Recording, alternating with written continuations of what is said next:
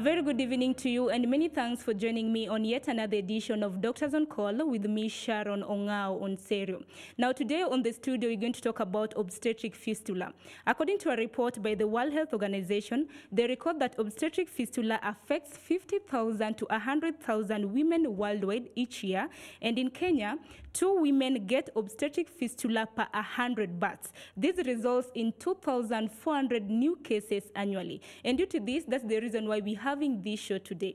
And to help me with this subject of discussion, I have obstetric gynecologist in studio to help us with this show. And apart from that, I have live medical students who will be able to interact with us in one way or the other as we progress with the show. Let me start with the introductions. As per the normal, I'd like my guests to start introducing themselves. Let me begin with my immediate right. Uh, good evening. My name is Charles Muriuki. I'm an obstetrician and gynecologist working with MP Shah Hospital, and it's a pleasure to be here. Thanks a lot, Charles. My name is Dr. Gerald Mutisia. I'm also an obstetrician gynecologist. Recently finished my school in Kenyatta. I come from the county of Kitui. Thanks a lot, Charles and Gerald, and Phil at home. And to you at home, if, if you have any question regarding to obstetric fistula, kindly reach us out on the number 20316 or you can WhatsApp us on 0786 316 316. Maybe Dr. Charles, as we begin with fistula, what is fistula? So a fistula basically is a communication between two cavities. Um, and in scientific terms, we, we, talk about communication between two mucosal surfaces. But for um, in, in a break it down in a way that is understood, it's basically a communication between uh, two cavities. And in this context, um, when we talk about obstetric fistula, we're talking about a communication between the birth canal or the vagina with the bladder or the cavity where the urine is kept, mm-hmm. or a communication between the birth canal and the rectum where the stools um, or the stool uh, does pass through. Mm-hmm. So what happens is that that communication allows the contents of the bladder to come through the birth canal or uh, allows the contents of the rectum to come through the birth canal as well. Mm-hmm. Yes. Maybe as I was doing my research, I realized that fistula, there are many types of fistula. Maybe tell us the, mo- the most common types of fistula. Uh, now, the, the most common types of obstetric fistulas, to be specific, mm-hmm. the, the, the, commonest is uh, what we call vesicovaginal fistula, which is basically a connection between the bladder, where the urine is kept, to the vagina, where the baby comes through. This is then followed by what we call rectovaginal fistula, which is another connection between the rectum and the birth canal, the vagina again. Mm-hmm. And then the other third commonest is uh, what we call u- ureterovaginal fistula, which is basically a connection between ureters, which are the tubes that bring the urine from the kidney to the bladder mm-hmm. and to the vagina. Mm-hmm. Yes. So apart from the obstetric fistulas, which which other fistulas are also common? Yes, there are other varied types of fistulas, mm-hmm. but um, probably related to connection between um, intestine and other part of the body, or an intestine and uh, the, uh, the outside part of the body. Yes. Now, according to the research of the WHO, they say that in Kenya alone, there are 2,400 new cases annually. Is it that there's something that's going on in the country, or is it that with the women after conception, they don't plan themselves? What do you think?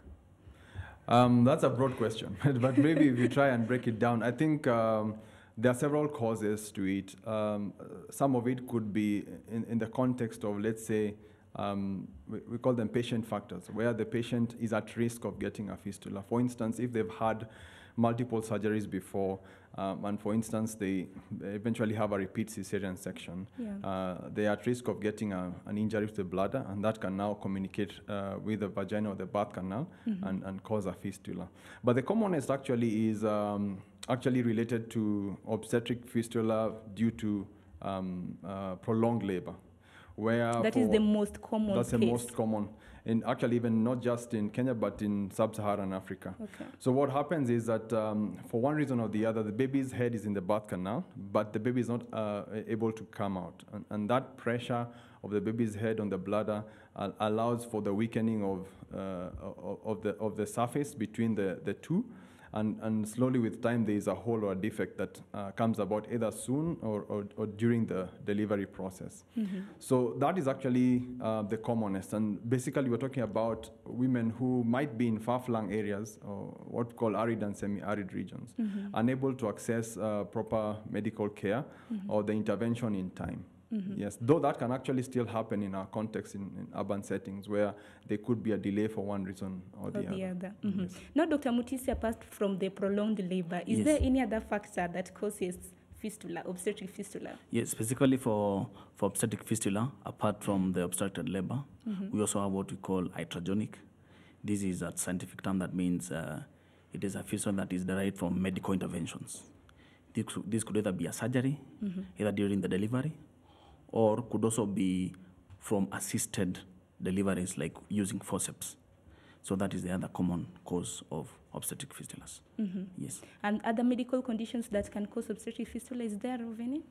Normally, actually, the other thing would probably highlight is maybe during delivery, maybe it was not obstructed, Okay. but maybe there was, for instance, a, a, a tear, uh, or maybe a, an episiotomy or a cut was given. And for one reason or the other, there was an extension of that cut, or the tear was uh, what you call a major tear, and there was communication between the rectum and the vagina. And maybe it was not noticed or picked during the delivery, or it was not repaired uh, correctly. So later on, a woman might complain mainly of uh, a rectovaginal fistula, which is a communication between the rectum uh, and the vagina. When you say it was not picked correctly, does it mean that even with fistula there is a misdiagnosis? So sometimes, especially for uh, fistulas, they don't tend to present immediately. Okay. Sometimes there's that lag period where, um, in an attempt for the tissues to heal and recover, sometimes a defect might appear. Or, um, for instance, during um, a delivery, uh, there could be a small nick, uh, a small hole that was missed, communicating between the rectum and the vagina.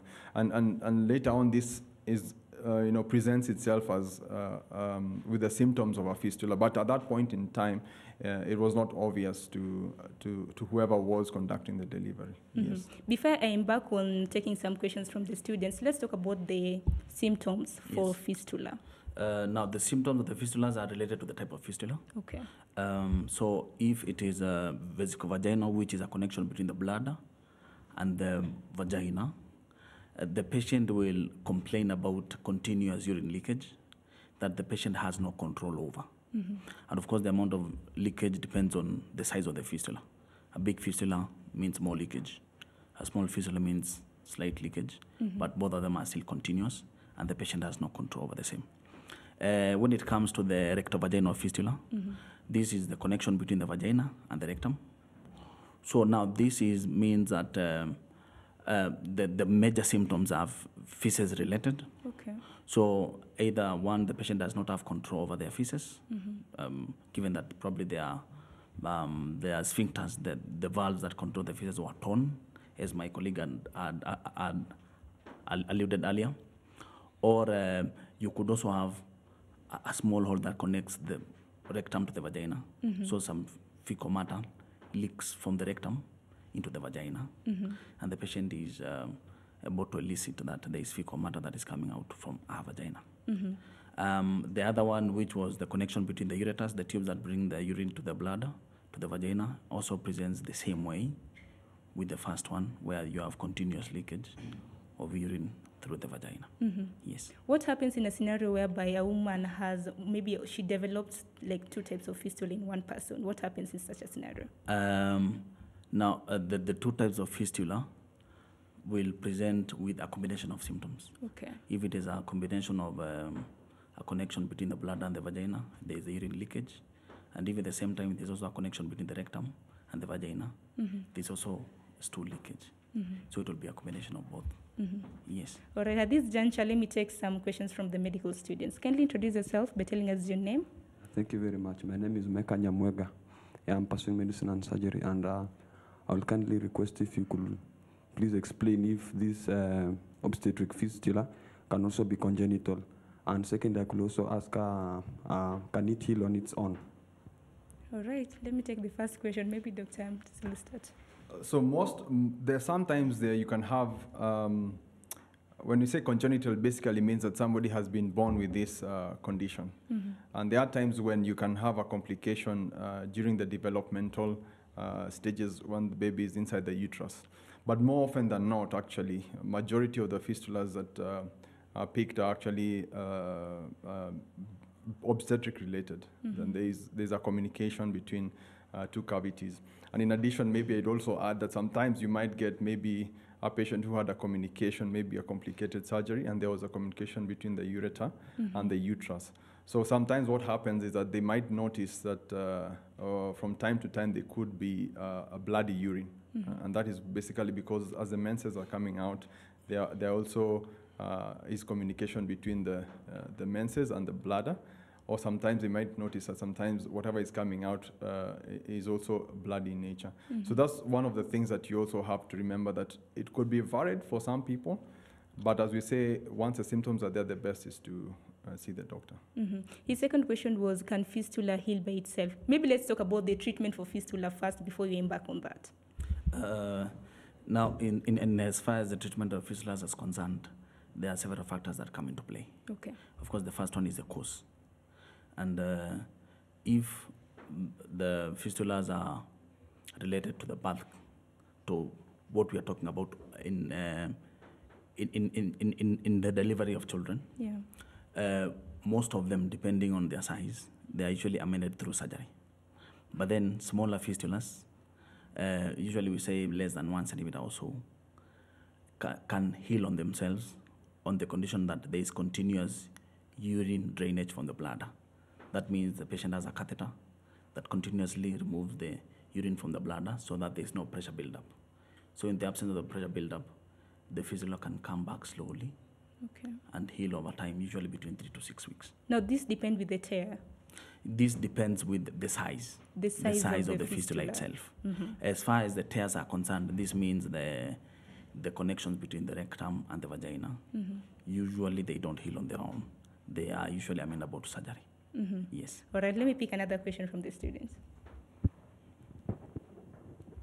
My name is Kevin Odwar. I'm taking uh, nursing in uh, Kenyatta University. My question is, are there any home remedies to help cure fi- this obstetric fistula? For example, like use of antibiotics. Yeah, is there any home remedy? Uh, unfortunately, there is no home remedy. Um, antibiotics basically would reduce the risk of infection, Mhm. uh, but you know when you think about a fistula, it depends with the size. Small ones, uh, big ones, they still need um, the catheter to be put in place. And basically, what happens is it's almost like imagining a balloon. So if if if there is um, a drainage, then the balloon is deflated. The bladder is like a balloon. So when it's deflated, there is chance of the healing process to take place. Uh, but there are no home remedies for, for fistula. And Mhm. actually, that's why many women would still complain of symptoms of fistula for more than even 10 years because they are uh, probably having the same symptoms, and despite all home remedies, they've not achieved any, any cure. Mhm. Meaning, if fistula is left, it can't heal by itself. No, it wouldn't. Not unless uh, there is a, an emptying of that bladder to allow, and especially at that point in time when it happened, Mhm. that uh, you'd want it to, uh, to, to be given time to recover as soon as possible. Mhm. Yes. Keep your Just one question. on that, uh, on, on that point, on the home remedies. Usually, what you are calling the home remedies are um, issues that are undertaken after surgery. So, if, for example, a patient has had their fistula repaired, Okay. then they are advised on, on modes of uh, softening their stools, on uh, advice of taking a lot of water so that they, they, they, they, they urinate continuously, and they also dilute the urine so that it does not irritate the repaired fistula. Mhm. So those conservative methods usually work during the healing process after surgery. Mhm. Yes. Now, is that a reason why women with obstetric fistula they're normally advised to take more liquids? What's the reason under that? Yes, as, as my colleague has correctly explained, Mm-hmm. um, uh, the, the advice is actually to ensure that there is uh, constant drainage of the urine to allow, um, to prevent it from being concentrated. Mm-hmm. Um, in addition to also help remove any bacteria that could potentially be in the bladder. That, that drainage just helps. And also, um, we know that uh, people who take plenty of water also, you know, it helps the stool become soft and avoid constipation, which is one of the other complications that we would not want a patient who has had a repaired fistula to encounter. Mhm. Yes. And is there any chance whereby fistulas can reoccur, like reoccurrence of fistulas? Maybe in a lady, maybe if a lady had a certain given type of fistula, maybe the, the other type, maybe the next time he or she gives birth, she also develops fistula. Is there recurrence? Yes. Uh, for the part of recurrence, we look at it in two ways. Okay. One is that uh, a patient had a fistula that was repaired, and possibly the, the post operative instructions were not followed, so the fistula did not heal well. So, once the removal of the catheter is, is undertaken, probably in three weeks or so, the patient still has the, the symptoms of, of leakage.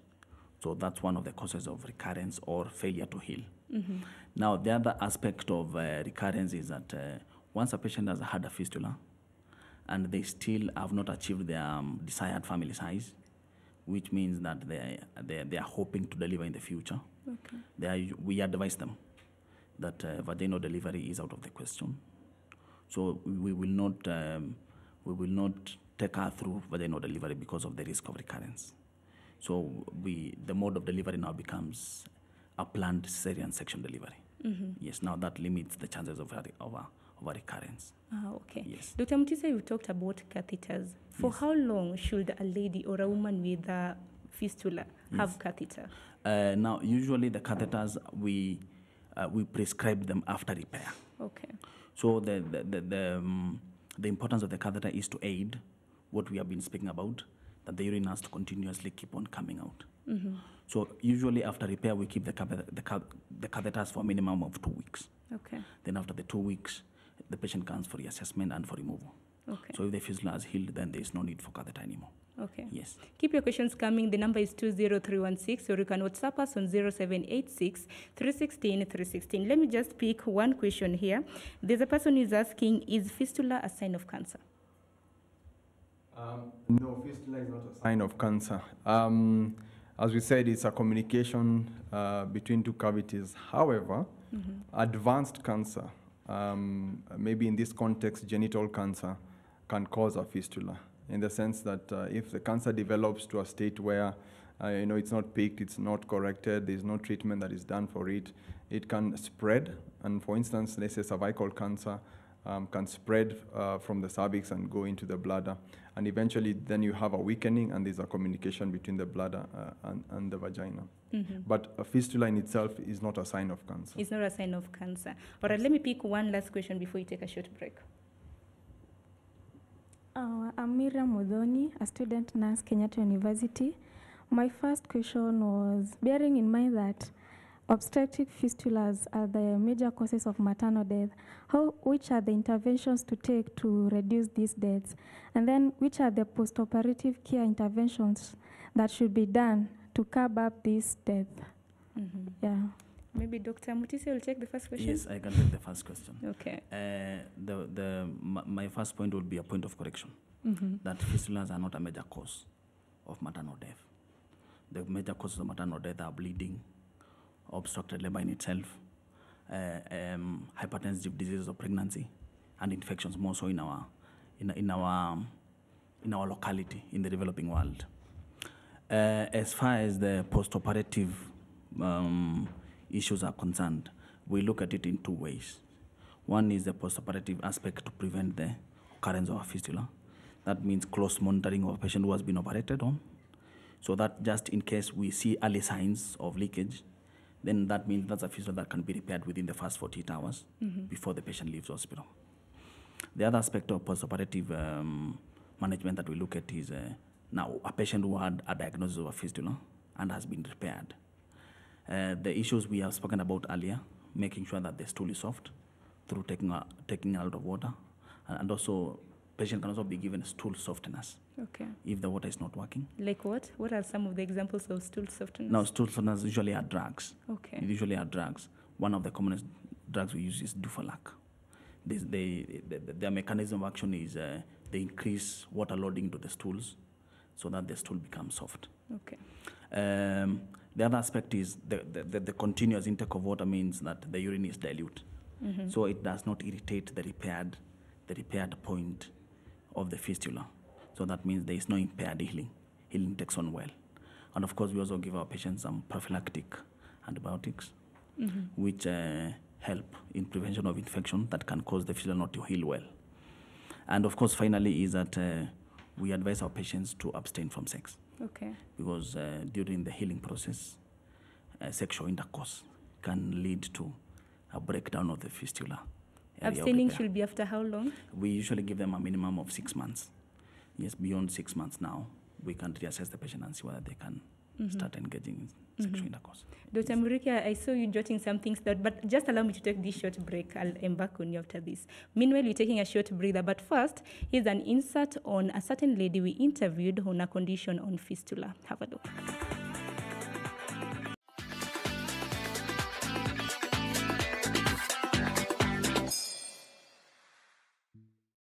A fistula is an abnormal connection or passageway that connects two organs or vessels that do not usually connect. They can develop anywhere between an intestine and the skin, between the vagina and the rectum, and other places. Felicitas, a mother of one and an accountant by profession, developed fistula 10 years ago when she was delivering her second born daughter, who later passed on during delivery. it came to me when I was not aware, when I didn't know whether there is a condition like that, when I was expecting everything to go good, and when just the way it happened when I was getting my child, because I actually went to the same same hospital, attended by the same same nurse, so I actually was hundred percent sure that nothing would be, you know, happen. What caused you fistula? It was out of a prolonged labor. I was there from 10 up to 6. Then we also, you know, from 10 up to 6 p.m. Things did not even change. And then at around 8 p.m., the same same day, that is on 23rd December 08, the pains also continued and uh, nothing could uh, you know there was not no there was no signs of you know me delivering What action was taken after that? from there i was rushed to kenyatta national hospital. Upon arriving to kenyatta i was taken to the emergency. And then there i was put on oxygen. Then i just earned one word. Okay let's hurry up we save one life. Felicitas had to undergo an emergency surgery. What happened after the surgery? of course i was not aware actually what was happening. And definitely from there you are taken to a, a room to recover. That room i was there was a nurse who was just seated there. So when i opened my eyes i just asked where is my child? Because i couldn't remember. I purposely went there to deliver. So when i went i asked her. She told me nkai kwanya unjaambiwa so kambia then i asked what? What is that i was not told? But your child passed passed on. She was put on a special diet, not knowing her condition. because actually when you're in hospital there is what diet you are being written to. Me i was put to plenty you know plenty of fluids so i could see when people are being taken tea i'm brought milk and i'm being told to take plenty of water. I don't understand. I thought probably i'm in a special medical medication. So when the doctor came on the second day then uh, I, I you know he just asked again how i'm doing? Again he was told then he just opened my file and said ah but this operation they could have done it this way and remove the child safely. He said why did they pull out the child and cause the condition of fistula? What was your reaction after being told that you had fistula? Was actually the situation was actually shocking and i was shocked. So it also ended up of making my hood for cs burst. So when it burst because actually thinking that you, you know you're in pains you don't have your child the condition that you see that you have developed actually it is like you know it is scaring Later on, she was discharged from hospital, but when her condition worsened, she had to undergo a second operation, which was also not successful. So when I was done the operation, uh, then it was like uh, it has, we have not done it successfully. Let's Dr. Kisa said, let me go further to Kenyatta and do further investigation to see where the problem came. I actually know the doctor who did that one. Then from there, after that operation, I was left in much pain, and because the pain was too much, they were to do the research and look for a doctor from Canada who came and did. And actually, after they did, because I, I was like, why am I having that, you know, much pain? But when they did, the, the, the, they did the surgery, what I, was told, it is pus. but finally the surgery was successfully done What were the challenges that you encountered? Actually there is much stress, no peace. You can go and vis- you visit your friends. You cannot carry normal duties. You cannot go to work. By then I was working in a school, so my job already had been taken over. So to me, I was like, there. I've just I'm going to live a useless life. The stories that he was being told, your wife will never be normal again. So it was like that is the end of it. Look for another wife. That is it. And he stood to me. How did you manage your condition after leaving the hospital? from hospital i was discharged with my catheter. I was given a nurse to you know was teaching me how to take care of the catheter. It was a there is no replacement. Where it has been fixed it is the doctor. You even don't know. You can do it. It is so tedious. You see like you know the process of urine it's a fluid in the body. Whereby it flows automatically. And then you are advised to take plenty of water you are you, you, my hood you know the surgery hood and not actual heal you cannot eat to you know to swallow in the belly. Otherwise you just feel pain. What advice can you give to people with fistula? in the first place follow doctor's instructions. Maintain cleanliness i'm saying from sex till you are in, uh, you know advised by the, uh, the, the the doctor when to do it. After the surgery you can stay for six months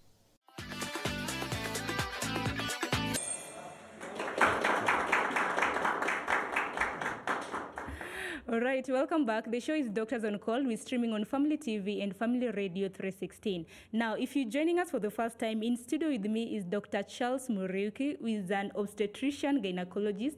And to my far right is Dr. Gerald Mutisia, who is also an obstetrician gynecologist. Many thanks again. So, maybe just from the case study that we've just watched, I want a quick reaction to the case study. Felicitas has been had been suffering from fistula from the year 2007 up to this time. I think it's like around 10 years. Maybe like a quick reactions to the catheters. She's saying like she had to go with the catheters at home. Dr. Gerald, you're te- you were saying something about the catheters. Yes, I had uh, alluded to the importance of Yeah. the catheter in uh, management post-operatively of a patient who has had fistula repair. And she has brought up very pertinent points. That one, the catheter is very uncomfortable. Number two, it is it has some social impact. It it it it, it, attracts stigma. Mm-hmm. And number three, now there is the aspect of taking care of the catheter, mm-hmm. which on the last aspect, at least she says correctly that she was told on how to take care of the catheter. Mm-hmm. So while it is uh, it is really a discomfort and a gross inconvenience to the patient, it is very necessary for the healing process once the fistula has been repaired. Yes. Maybe Dr. Mutisia, what, can- what, what can you say about Dr. Muriuki? What can you say about the case study? Yeah, I think uh, probably my, my emphasis would be on how to prevent fistulas. I think prevention is better than cure. We all know that. But um, as you hi- uh, as you had alluded to earlier on, and, and rightly put, that I mean, if you are estimating that for every hundred deliveries, there probably are two cases of fistula, what you're simply saying is uh, you're looking, uh, and the statistics seem to suggest that there could be probably 50 to 100,000 new cases uh, every year. And basically, if you look at our context in Africa, maybe the capacity that we have to repair these fistulas maybe 10,000 per year. So what you're estimating is that there are probably more fistulas happening as, as the years go by than you can repair. So uh, looking at this case, and, and pole sana to, to Felicitas, it's, it's one of those um, sad stories because not only is somebody having a complication of, of, of um, a delivery that requires surgery, but also the emotional turmoil of having to lose a child or a baby. So we look at the several delays that you know we, we usually would uh, comment on in obstetric care, and, and one of the delays is, is delay in identifying that actually there is need for medical care. Um, and sometimes that could be in the context of somebody not being knowledgeable enough that actually, you know, uh, I need to seek uh, medical care. Uh, sometimes you might have a delay in the decision making now to, to seek that medical care. And this decision making does not necessarily mean that somebody uh, cannot make that decision, but we're also talking about capacity. Sometimes uh, capacity means that maybe someone does not have the money to access medical care and might be waiting for somebody to send money or, or something of that sort. then there's when also their due date is almost. when their due date is also is, is, is close by. yeah. So we, we usually would look at it and say there are several steps that can be done, especially in women who are pregnant. I mean, they can be able to seek medical care early enough uh, during the antenatal clinics, um, have a birth plan um, in the sense that uh, there's a discussion about um, when the delivery date is, is likely to be, what is the what is the cost of the delivery, which hospital will somebody uh, you know wish to to to seek medical care, and how do they access uh, this facility? For instance, is it if it's at night, how will they be able to access the hospital? And that's one of the other delays that happens that there's a delay in accessing. For instance, if it's in a far-flung region, the hospital is far away from where people live, maybe in a manyatta. But sometimes you could have a context in Nairobi where there's too much traffic and somebody is trying to move across town to access uh, the facility of choice. And the last delay is usually at the facility itself, where um, uh, the pregnant woman has arrived, probably in labor, obstetric labor, and uh, there is a delay in making the intervention that is necessary to prevent uh, a potential fistula and probably save the, the life of the mother. Well, why do we say this? Because care of fistula is, is, is not only tedious, but also requires um, a lot of skilled work. Uh, and, and, and there are complicated fistulas that will require um, uh, competent uh, fistula surgeons to repair them. Um, the other thing is uh, not only is, is the care expensive, but there's also the stigma associated with it. Women are usually ostracized when they uh, are in society and you know uh, there is leakage of urine, they are smelling of urine, they cannot Yeah, you know be in public control, means. yeah. Yes, uh, maybe there's leakage of stool. It's an embarrassing situation. Maybe the the partner might leave them. They might be divorced. And and when you look at this, this is a, a lot of emotional emotional turmoil. It could lead to depression as well. So when you think about prevention, I think that is where I would want to emphasize that this can be prevented, uh, as well as also emphasizing it's uh, advisable to have delivery done by a skilled healthcare worker who will be able to identify that there could be a problem with the delivery Meaning you don't advocate for home deliveries? would not advocate for home deliveries, especially in our context. Would advocate for delivery uh, by a skilled uh, healthcare worker uh, who is competent enough to, to notice and also make appropriate and timely referral. For instance, in this, in this case, there could have been a delay. I mean, she did mention that from, uh, from 10 a.m. to 6 p.m. there was a delay. It was eight hours, and we don't know what was happening at that point in time. So, I mean, if it was identified earlier, and, and, and this would have been uh, a timely intervention if, if she was seen within the shortest time possible and have uh, had the appropriate care done at the, at the appropriate time. Mhm. Thanks a lot, Yes. Dr. Muriuki. Remember, if you're listening to us on Family Radio or you're watching us on Family TV, the show is on obstetric fistula. You can reach us on 20316 or 0786 316 316. I have medical students in studio. Maybe at this particular point, let me just take some questions from them. Thank you for the opportunity. My name is Julius Nyamawi. I'm a medical student in year two, Kenyatta University. Uh, you've talked about uh, the catheters uh, related to fistula and stigma because they attract stigma.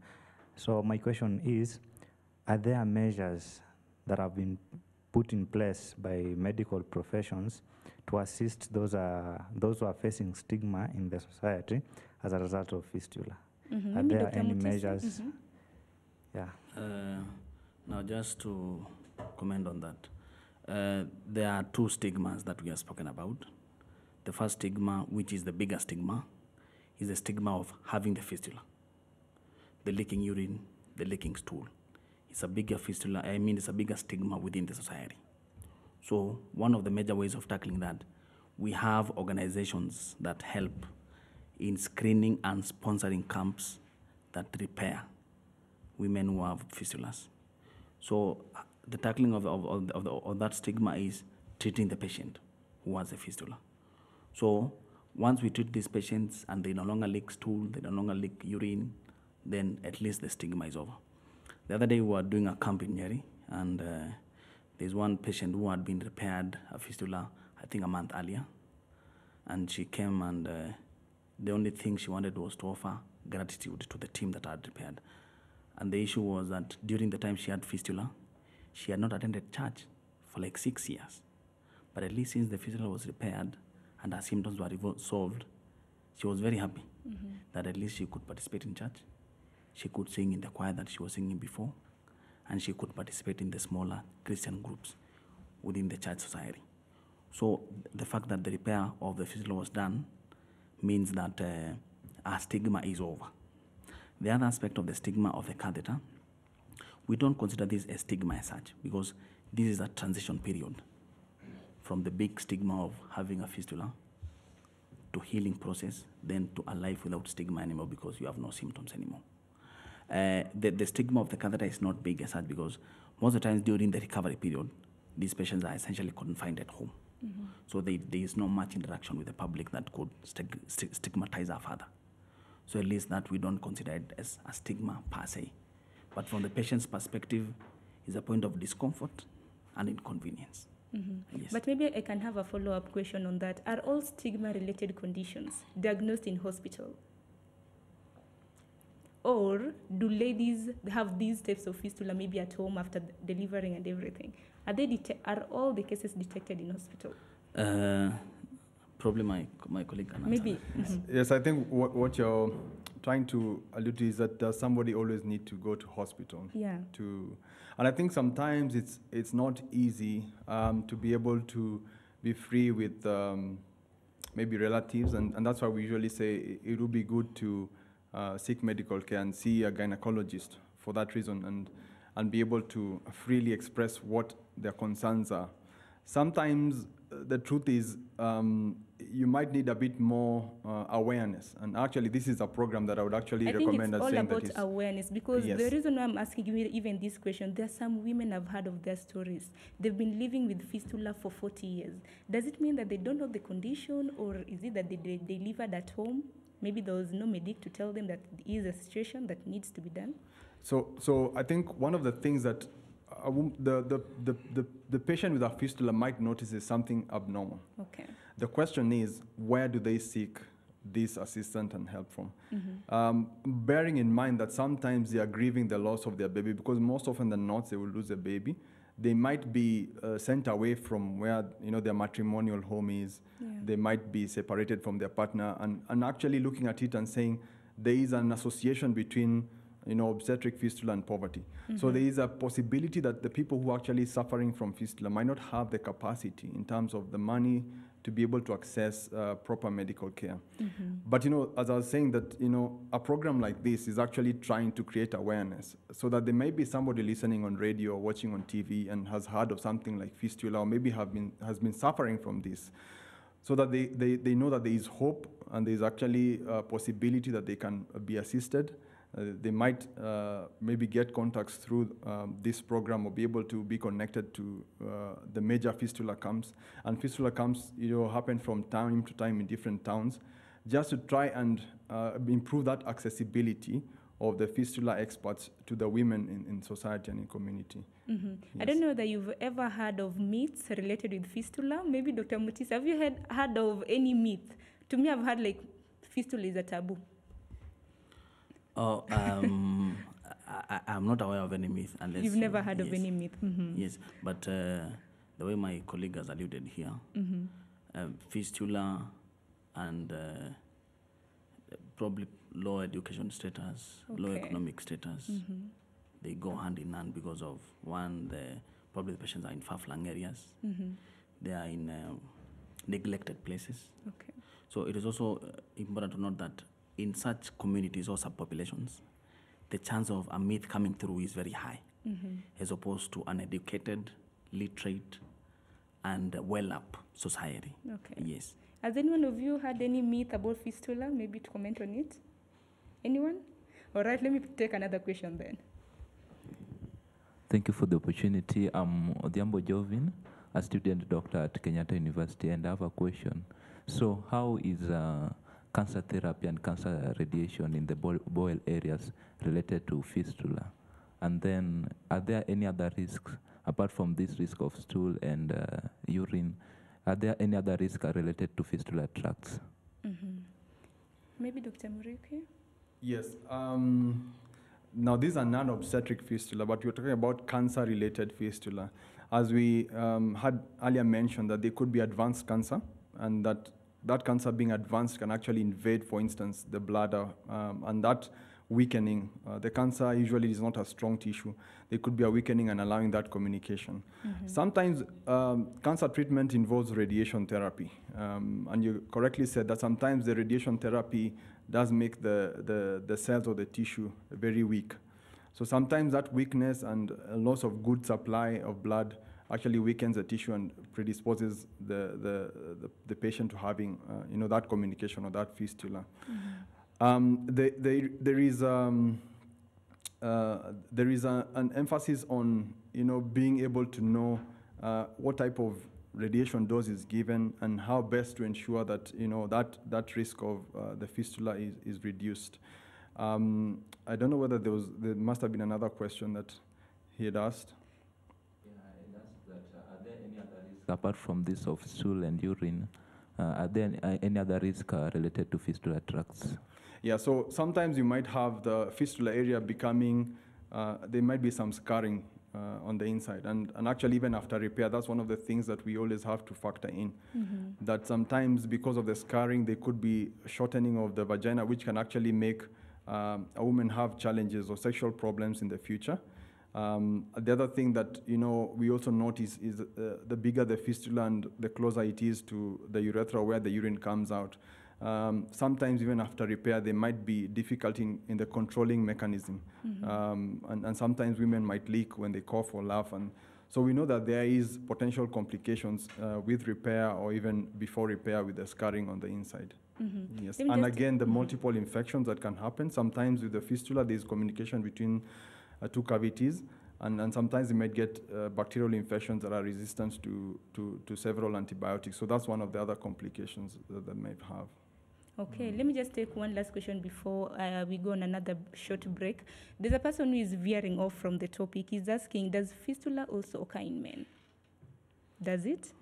Uh, in the context of today's discussion, which is obstetrics fistula, Yeah. uh, that is fistula related to childbirth, Mhm. that particular type of fistula does not occur in men. It doesn't occur it doesn't in men. It doesn't occur in men, yes. Mhm. Because uh, we don't have men who do delivery of But uh, we have other fistulas, like uh, during the presentation of the lady with the fistula case, they talked about the intestinal fistulas. Mhm. Those ones can happen in men.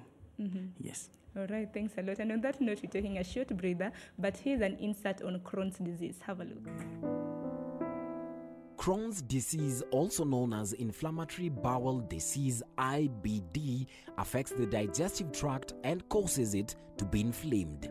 This can be experienced between the mouth or esophagus, stomach, and the colon.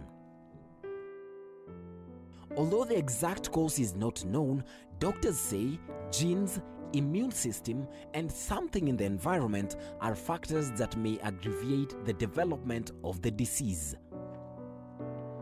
In people with Crohn's disease, something in your immune system causes an attack within the digestive tract. This causes the lining of the small intestine to be inflamed, which affects the ability to absorb water and other vitamins. Common symptoms of Crohn's are abdominal pain, diarrhea with mucus and blood, fatigue, and weight loss. Symptoms may differ from person to person depending on the location of the disease within your body. They may even change over time, however, it is important to keep track of them. Depending on the severity of the disease, some people develop symptoms that are not related to the disease. They include joint pain and swelling, redness or itchiness in the eyes, skin rashes, and kidney stones. To get a better sense of your disease, your doctor may order a number of tests, which may include blood test, stool test, or a colonoscopy to help them see what is happening in your tract. Your doctor will prescribe medicine depending on how mild or severe your disease is. However, there is no standard treatment for everyone because each person's Crohn's disease is different. The medication could include pills, liquids, suppositories, which some are injected or given as intravenous infusions. You and your doctor will work together to find a treatment specifically for you. In most cases, the preferred method of treatment approach is medication, but sometimes immediate surgery is needed. For example, when there is a blockage in the intestine, pus filled up in the abdomen, or a formation of a fistula. It is important to note Crohn's disease may appear at any age, but people between the ages of 13 and 30 are at a higher risk. You are at a higher risk of developing Crohn's disease if you have a close relative with the same disease. Research suggests that cigarette smoking increases the severity of the disease. It is important to stay informed as this may help you manage your disease better. All right, welcome back. The show is Doctors on Call with streaming on Family TV and Family Radio 316. Now, the show is on obstetric fistula. If you have any question on this, kindly channel them to the number 20316 or you can WhatsApp me directly on 0786 316 316. And with me in studio are obstetrician gynecologists. Maybe from the insert on Crohn's disease. Maybe just a quick re- reaction to it. What's the relation between Crohn's disease and fistula? Okay, so Crohn's disease is, um, is a condition that is associated with uh, uh, what we call like ulcers in, in the intestinal tract. Okay, Mhm. basically from the food pipe all the way down. And sometimes uh, these ulcers um, uh, can lead to weakening of the inner lining of the intestinal tract. Mhm. So uh, it's rare, but there is a possibility that there could be um, uh, a weakening of the intestinal tract and leading to a communication between two cavities. Mhm. Um, so it's, it's not common in our setting, Crohn's disease, and, and so uh, it also would be rare to have fistulas associated with uh, Crohn's disease. But uh, in and of itself, there is a possibility that that could happen. Mhm. Maybe in a simpler term, Dr. Mutisia, what is Crohn's disease to a local mwananchi like me? Uh, now, in simple terms, Crohn's disease means uh, number one, it's a disease of the intestinal tract, as Mhm. uh, my colleague has said, and uh, it, it, it, it, involves what we call inflammation. That means swelling, and now from the swelling, you you have scarring subsequently, and when the swelling and subsequent scarring, which means formation of scars, the wall of the intestines is, inter- is actually interfered with.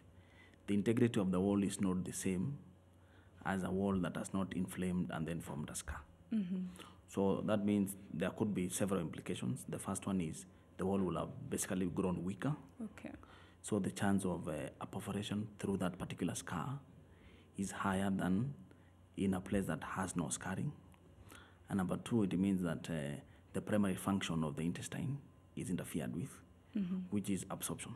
Mhm. Because once there's a formation of scar, the surface of the intestine that facilitates absorption is interfered with. Mhm. So now the symptoms come about from those two, where there is malabsorption. I mean, that, that means poor absorption.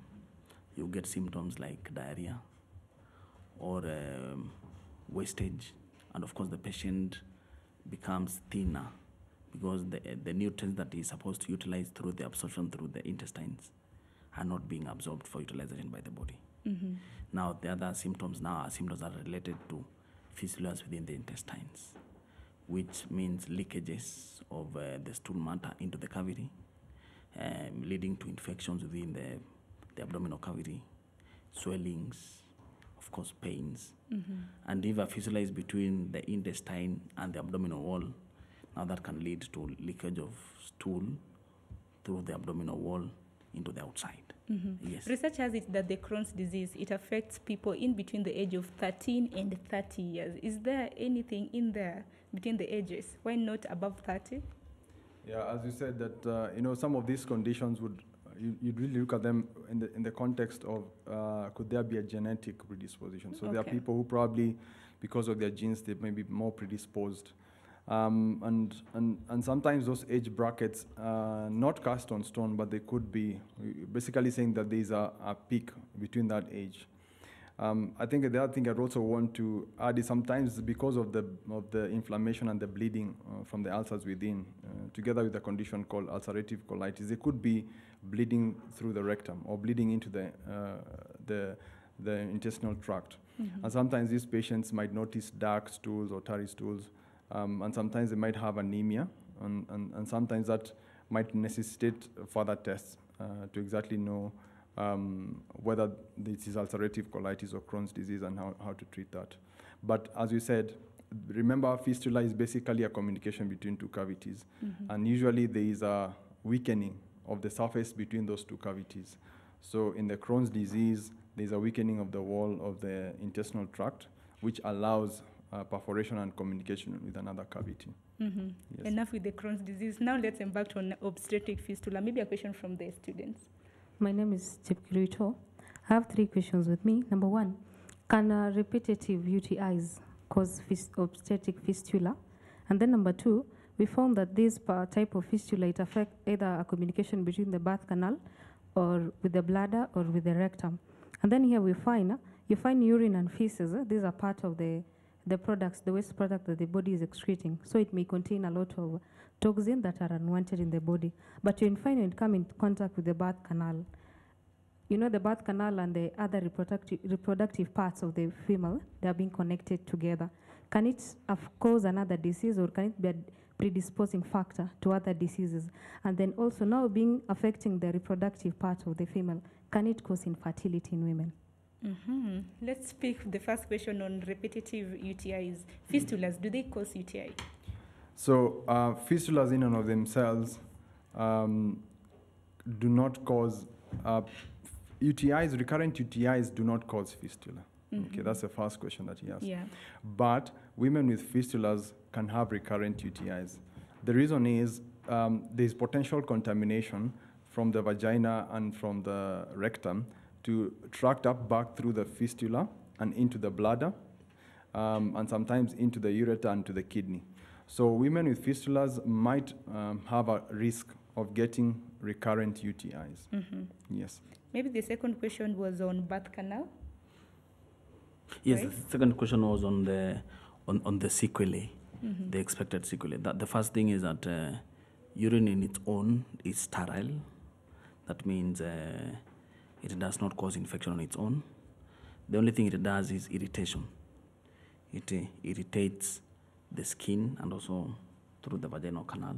Mhm. But now feces are infectious. They have um, they have microorganisms in that, uh, as my colleague has spoken about. The commonest microorganism that causes UTI is called E. coli, and it originates from the feces. Mhm. So that itself will lead to in, um, recurrent UTIs within the rest of the um, of the of the urinary tract. Uh, on the last question, in terms of infertility, I Mhm. think uh, fistulas on themselves do not cause infertility, but what happens is that uh, a patient who has fistula, because of the leakage of the stool or the urine into through the vagina, may have difficulties in having sex. So it is from that that now leads to failure of conception. Mhm. But it doesn't cause infertility. It doesn't cause infertility in on its own. Mhm. Yes. All right, we have less than 10 minutes to go. Let me just pick some other questions again. My name is Faith Kemunto. Okay, on the causes of obstetric fistula, we've been talking of mainly prolonged labor. What about FGM? Does it cause obstetric fistula? Does it, doctor? Um, obstetric uh, fistula basically refers to anything, uh, a fistula that happens around childbirth. So, what we know with FGM is that it predisposes a woman to prolonged labor. So, it's an indirect cause in the sense that a woman having had FGM uh, might have a difficult delivery. Maybe the baby is not able to come through, Mhm. and sometimes that uh, difficult in, uh, difficulty in baby coming through actually predisposes a woman to prolonged labor and subsequently to having a fistula. There are times when FGM is done, and, and this is not obstetric related, but is what we, we would still be terming as potential uh, direct trauma. Mhm. That sometimes FGM is done that you know can p- potentially cause damage to the bladder or damage to the rectum, and in severe cases, sometimes that allows a hole and a communication uh, between the, the two cavities. Mhm. Yes, But I think at this juncture, even in the country, doing FGM or practicing FGM is illegal. it is illegal actually, and uh, we, we we recently had a, um, the Kenya Obstetrics and Gynecological Society actually reaffirmed that uh, uh, it, our commitment to uh, fighting FGM, Mhm. and actually also saying that um, it's something that should be um, basically awareness still needs to continue out there. Actually, it's not only discouraged, it's actually illegal, and, and somebody can actually be um, taken to court for the same, either facilitating, abetting, or conducting it. All right, let me pick some few questions from the students before we wrap up the show because we have less than six minutes to go. So by names, I'm David Magoma. I do have a question. So you've just talked about uh, obstetric surgery. So what's the efficacy of undergoing obstetric surgery in Kenya? Mm-hmm. I think I didn't get that question, but it's quite, quite broad. And you say efficacy, we're probably saying in relation to obstetric fistula. So Because basically, I was lost what with that term, efficacy. efficacy basically we're talking about uh, um, how good is it in preventing. Amesema Um, uanze kures- respond to that question. So obstetric fistula can be reduced uh, by performing a cesarean section. However, it's also good to know that it depends with how long the prolonged labor has been present, Mhm. because that weakening of the tissues uh, might not be reduced by doing a, a cesarean delivery. It's also important to know that a cesarean delivery in itself, if it is complicated and there's damage to the bladder or the ureter, can also lead to a fistula. Mhm. Maybe because of time strains, let me pick just la- one last question from the audience. Uh, my name is Eno Konyango. My question is uh, Are uh, there platforms outside the medical camps for fistula repair and how affordable are they? Sorry, I did not get your question again. Maybe come up with your question. The question Louder. is uh, Are there platforms outside medical camps for fistula repair and how affordable they? Or affordability. Yes, uh, thank you very much for the question. Um, yes, we have platforms that are outside camps. For example, in Kenyatta National Hospital, there is a fistula clinic that runs every Monday, and there's also a fistula surgery, surgical day that Mhm. runs every Tuesday. So patients are diagnosed and repaired as they come. Free of charge. Um, usually, the patients who are covered with NHIF, Mhm. they are paid for by NHIF. Okay. And I think there are some NGOs that come into into sponsorship during those days. But I think it is better for the patient to confirm from the hospital. Mhm. Yes. Maybe one last question from you. I saw you had some pressing issues on fistula. Do you still have a question? Okay. Yes, thank you. My name is Solomon Mayaka. Now, my question is like, uh, does fistula being precarious to women, for instance, they, when you maybe have given birth and then you delay, maybe you give birth today and then wait for five years, does that place a woman in, in a situation where she's likely to get fistula? Yeah, so um, there's no association between the inter-pregnancy period Mhm. and, and occurrence of fistula. It's usually, and especially obstetric fistula, it's most often than not related to the delivery itself, if there are complications at the point of delivery.